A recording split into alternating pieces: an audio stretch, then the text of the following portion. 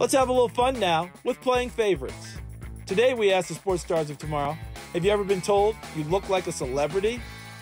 Yeah, yeah, I have definitely. Especially when I was younger because I had more of a fro. They told me I looked like Corbin Bleu from High School Musical.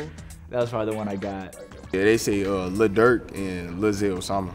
I've been told I look like a Lil Baby. My brother always tells me that. I don't know where he sees it, but that's what I've been told. I've been told I look like the girl from Miss Congeniality, Sandra Bullock. I've been told I look like Chris Brown. Just a little bit with a little Drake. Just a little bit. Yes, I've been told I look like Zion Williamson a lot. The most recent one was people been saying I look like Ja Morant because of my hair, but I don't see that at all. Yes, Josh Freeman, the quarterback. Sometimes people say I look like Zendaya. Not to flex.